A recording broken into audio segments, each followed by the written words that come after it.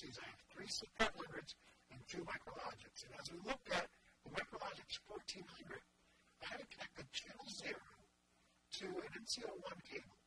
And that cable goes right onto the Data Highway 485. I also have that port set up for Data Highway 485, address number 14. Now here on the MicroLogix 1000, I have it connected mini-DIN to mini-DIN, and it's providing power to this AIC Plus.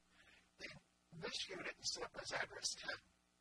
Now, I have my 505, which doesn't have a Data Highway 485 port. I have it coming through the serial port to another AIC mini DIN. Now, I can't provide power there, so I have external power to my AIC. I'm using a uh, PM02, or this is an equivalent that you can get cheaper um, of the PM02. Um, from there, I also have off screen, I have a 503 and a 500, which are connected using legacy AICs, the old 1747 AICs, and they're also on the Data Highway 485 network. Now, I also have the two PanelViews here. I have a PanelView 1000 and a PanelView 400, and both serial ports are connected via a standard straight through serial cable. That's 2 to 2, 3 to 3, 5 to 5. So these are 9 pin cables, both going to the AICs.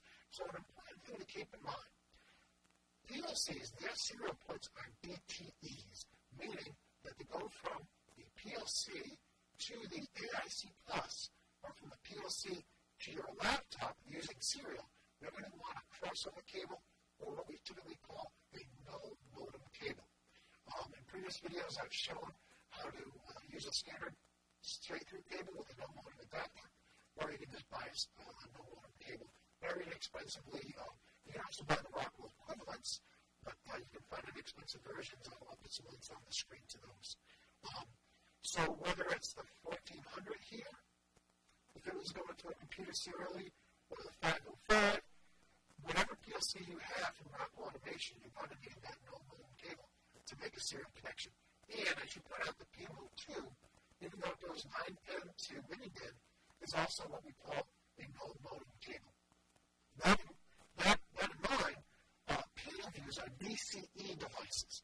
And so the panel is used straight through cables. Okay? Now, Rockwell several 2711 cables that you can use or you can just use off-the-shelf straight-through cables.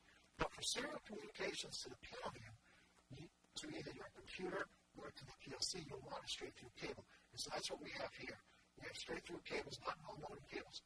We'll look at each of the AIC pluses. Now, that same cable will work to the serial port of the uh, 1400 or the serial port of the 505, but in this case, we want to put a whole network together. So we're going through AIC pluses to get everybody on the same network. Now, I should mention about Data Highway 485. Yes, some people jokingly call it Data uh, in a sidewalk, but Data Highway. So um, that's because it's not really fast. I mean, 19.2K is as fast as it goes.